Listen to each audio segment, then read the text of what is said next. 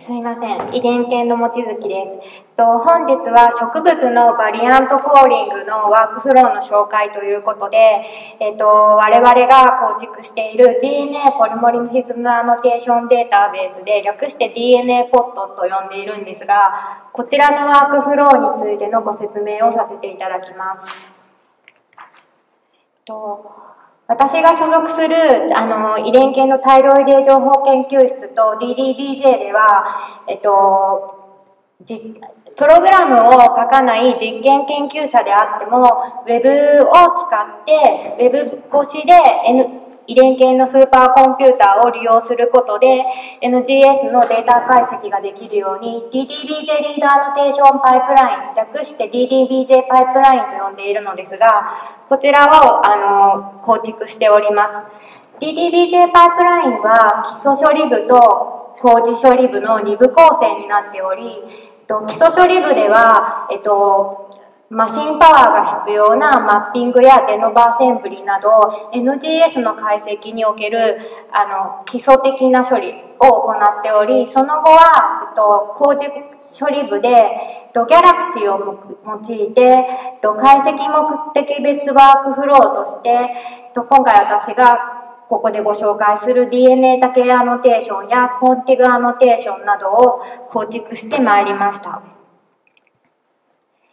で、こちらが BDBJ パイプラインの利用統計年、統計年変動になります。で、横軸がこれ年ごとで、縦軸にジョブ数とユーザー数が書かれております。で、2014年に、と今回ギャラクシーの話なので、ギャラクシーのジョブ数でいうとピークで、えっと、1万ジョブ以上のジョブ以上をご利用いただいております。で、ユーザー数は、あの、年々トータルして、今、えっ、ー、と、1000人を超えている形で運用しております。で、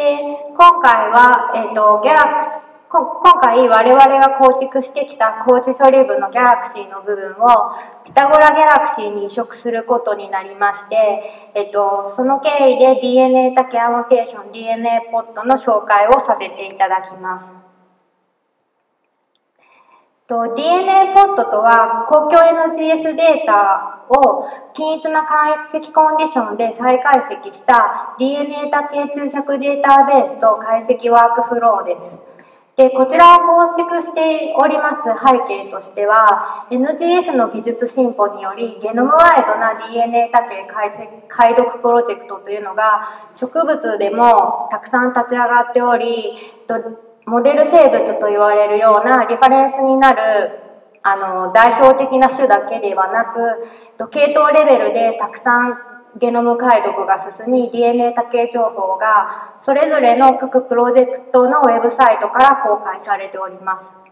ただ、これらのあのウェブサイトは、えっと、研究目的等が異なる背景から解析手法が異なっております。NGS の解読データ量が異なっていたり、リファレンスゲノムのバージョンや解析アルゴリズム、精度などまで異なります。ただ、これらのデータは宝の山であり、これらのデータを、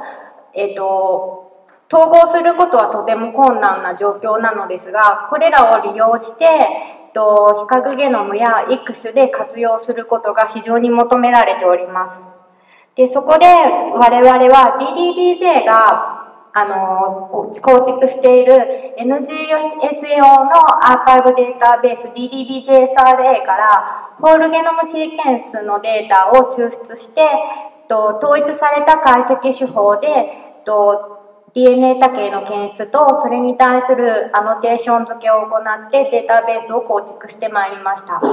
で現在と、ライス679系統、メイズ404系統、ソルガム68 66系統のデータが格納されております。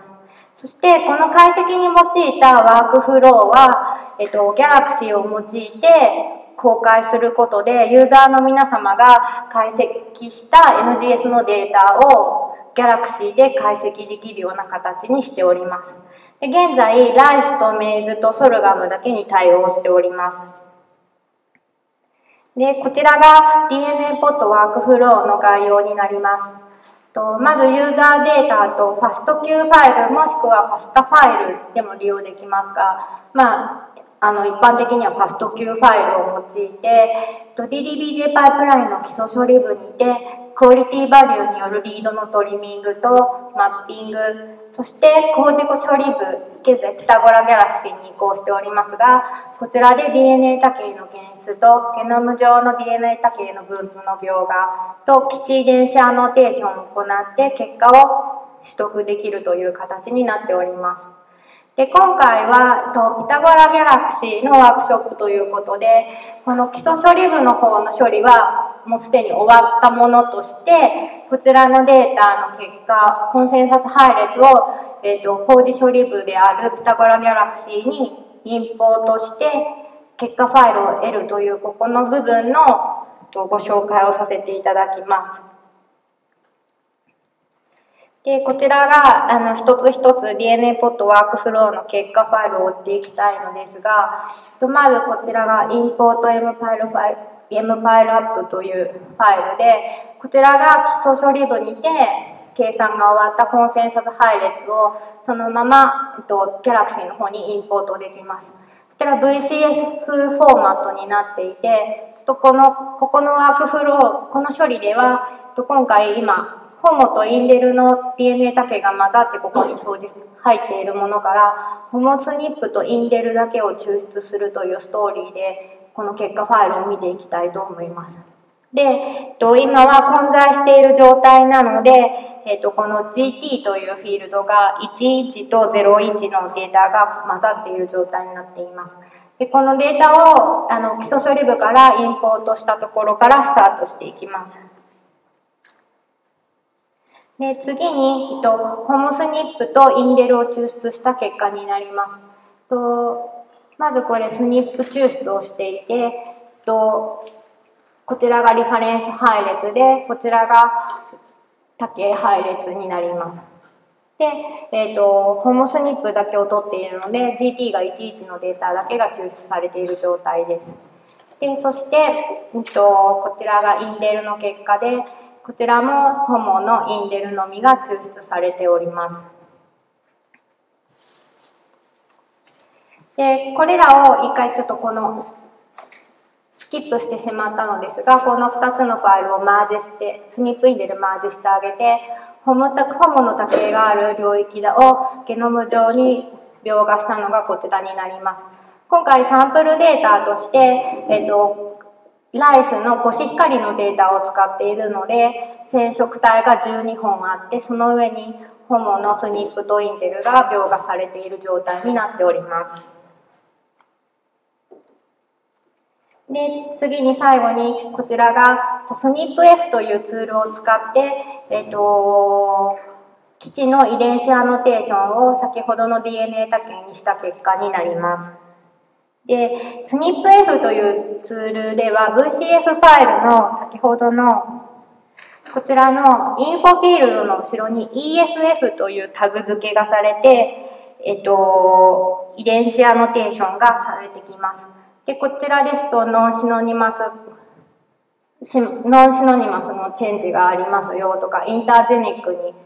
ありますよっていう情報がこうついてきます。で、さらにこちらで、えっ、と、サマリー情報として、えっ、と、ゲノム全体で、えっ、と、 nonsynonymous の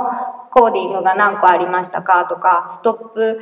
コドンのロスがいくつありますみたいなサマリー情報がと得ることができます。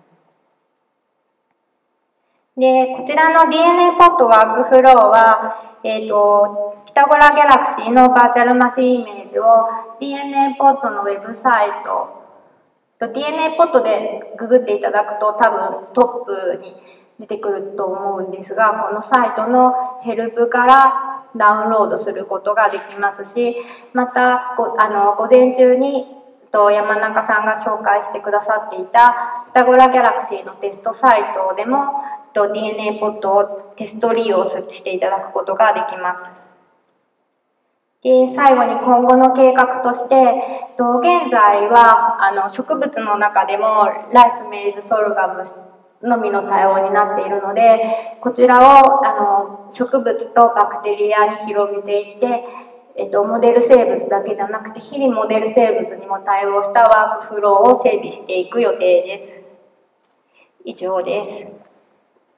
鈴木さん、ありがとうございました。